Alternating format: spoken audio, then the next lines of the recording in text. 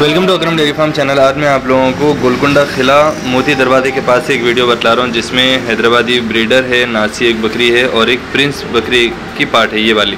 तो इन सब की डिटेल देखेंगे। सबसे पहले ये एक हैदराबादी का ब्रीडर बकरा है, देखिए, नासी अबलग और अभी दो दांत पे है।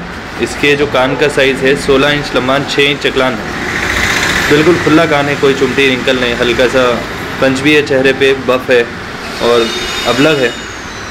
बाल वगैरह बहुत अच्छे दिखे, बहुत गर्म ब्रीडर है। और इसका जो आसिंग प्राइस है, सिर्फ़ ट्वेंटी सिक्स थाउज़ेंड इसमें स्लाइटली नेगोशियबल कर देंगे वाइट आइस है। जो लोग इंटरेस्टेड हो, आप लोग पर्सनली विज़िट करके देख के लीजिए। साइज़ वगैरह हाइट लेंथ में अच्छा बकरा है और ब्रीडर है। और इसके बाद में ये गुलाबी फीमेल पार्ट है, पाँच महीने एज है इसकी। और ये प्रिंस की बेटी है डायरेक्ट इसके जो कान का साइज़ है, चौदह इंच लम्बान साढ़े पाँच इंच चकलान है, सिर्फ़ पाँच महीने के अंदर। और कान में जो चुमटी दिख रही है, ये खुली है। मैं आगे बतलाऊँगा अभी आप लोगों को। बिल्कुल खुला कान है और एकदम गुलाबी है, देखिए। चेहरा, कान वगैरह पूरे वाइट आइस के अंदर। ट्रिमिंग करी भी इसकी, यानी बाल निकाले हुए। तो ये देखिए, कान खोल के भी बतला दे रहे मुबीन भाई।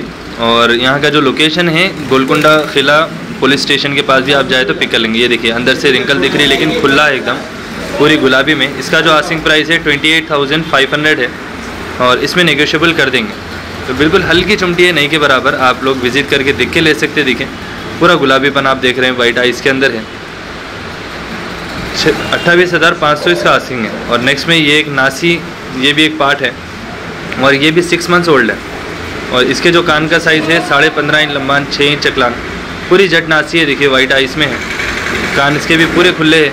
कहीं पर भी कोई चुमटी रिंकल नहीं है, बिल्कुल साफ़ पत्ते की तरह कान है। आप देखिए, एकदम खुला।